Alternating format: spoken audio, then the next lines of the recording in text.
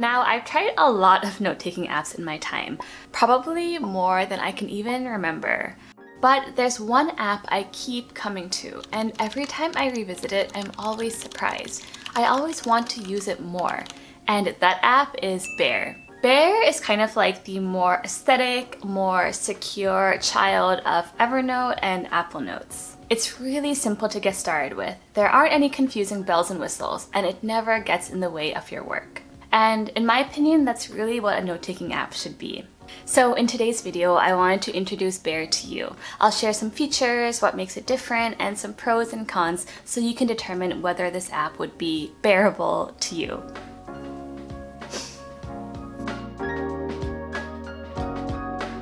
Now, I actually started using Bear back in 2018 when I was working as a full-time software engineer. And I actually discovered it because I was uh, snooping at my coworker's screen during a meeting, but yeah, here we are today. So Bear was built back in 2016 by this really small team, just 17 indie developers based out of Parma, Italy. Which, besides Bear, is also famous for its architecture, music, art, prosciutto, cheese, and its countryside. So this team has been building a bunch of random apps over the past 10 years with, let's say, varying levels of success. But they never gave up and Bear was their first big breakthrough hit. And if I were to describe Bear in three words, I would say simple, secure, and minimal. First, the app is made for writing. Notes are formatted using Markdown with minimal styling that allows for highlighting, headers, etc., but nothing fancy. There are some advanced markup options like emoji shortcuts, drag and drop attachments, and inline code blocks.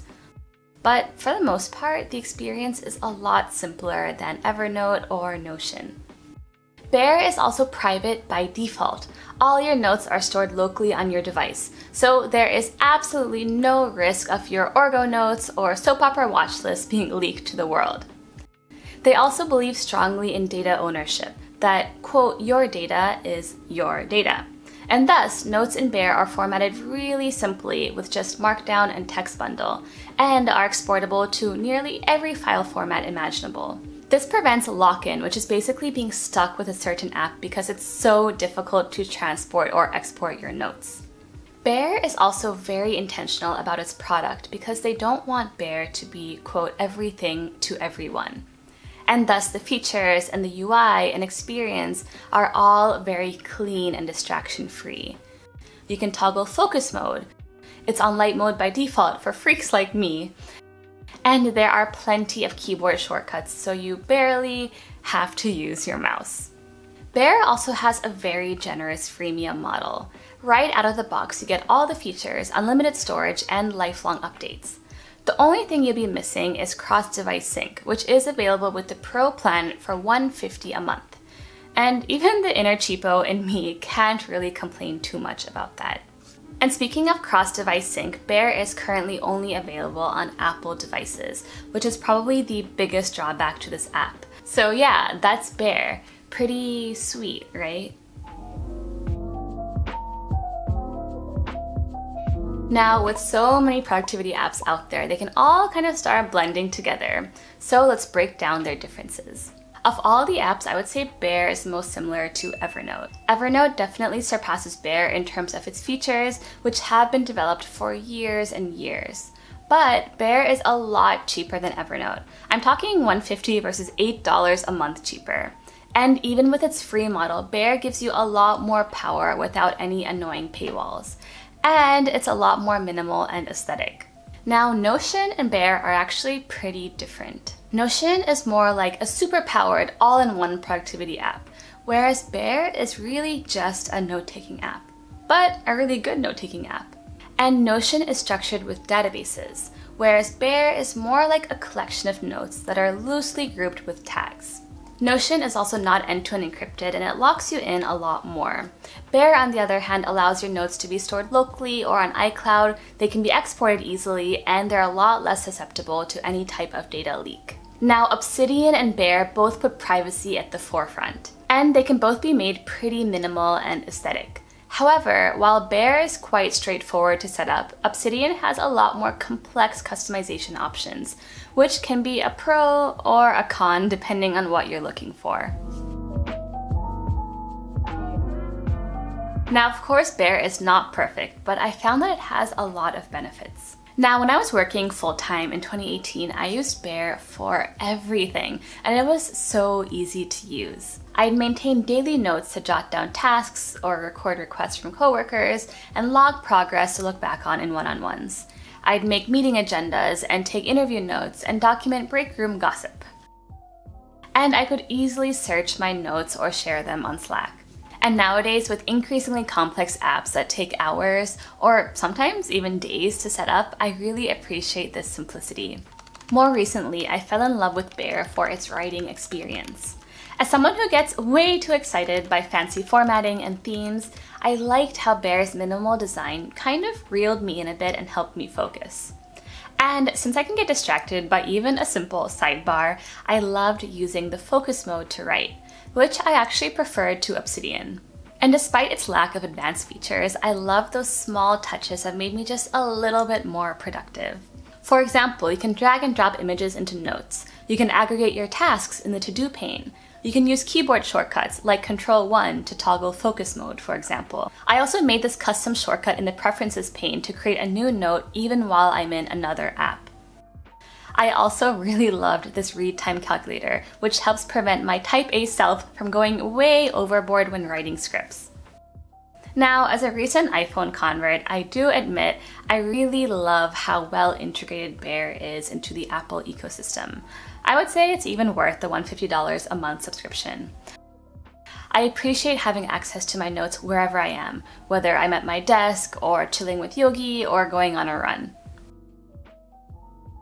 I also have to give bonus points for how young Bear is. Besides their active online community, this means that they're constantly developing new, innovative features and listening to our feedback. For example, they're building a new and improved Markdown editor called Panda, which will have a cleaner UI, tables, a custom iOS keyboard, drawing features, GIFs, footnotes, folding, etc. Nice. And as an alpha tester, you can play an active role in giving feedback, which is great. That being said, I do sometimes wish there were some extra features. Besides databases, I rely on things like changing the color of text, toggling multiple columns, and templating for my YouTube workflow. Of course, I should remind myself that this isn't supposed to be Notion, so none of this should really be a surprise. I also don't love that the hierarchy structure in Bear is built off of hashtags instead of folders. For example, for this outline, I'd have to make a tag like hashtag YouTube slash bear slash outline, and only then would the YouTube bear and outline folders be created. Besides that, I also don't love the fact that they use iCloud to store your notes in the Pro version. Not for any security reason, but because I just don't want to pay for another cloud subscription service. And I also hate, like really hate those little pop-ups that say you're low on iCloud storage. But of course, the reason I make these videos is to help you pick the right note-taking app from you for from for you from the get-go. So I suggest you get this app if one, you do a lot of writing. As I mentioned countless times, I think of all the apps I've tried before, this truly has the simplest, cleanest writing experience. Or two, if you want something simple. You can't be bothered with fancy setups and just want something easy to get started with. Or three, you want a cheaper, faster alternative to Evernote. Now, I might be biased, but Bear is 80% cheaper, looks more beautiful, is more secure, and is faster than Evernote. Or you want an app that's seamlessly integrated into the Apple ecosystem, then this would be perfect. But this app is definitely not for everyone. Of course, if you don't have a Mac or all Apple devices, this is not going to be ideal. I did read online that they're working on a web app version of Bear, but given their size, I'm not really sure when that's going to roll out. But mostly this app won't be for you if you need those more advanced features. If you're used to Notion, you'll probably miss the databases, the different views, customization, and rich text formatting. And if you're used to Roam or Obsidian, you'll probably miss the seamless backlinks and knowledge graph. But with that in mind, if all you need is a really good note-taking app, like how I use it for my job or say for class notes or I don't know, maybe you're writing a book, then this would be perfect. So yeah, I'm a bit stuck myself with how I should use Bear going forward because I am quite locked into Notion having used it for one and a half years, but I also really like Bear, so I don't know. The uh, confusion is truly unbearable. But anyways, that's it for today's video. And if you have a suggestion for an app that you want me to try out next, please let me know in the comments down below. But otherwise, I hope you liked this video. If you did, please give it a big like and subscribe. Follow me on social media if you want to, and I'll see ya in the next one.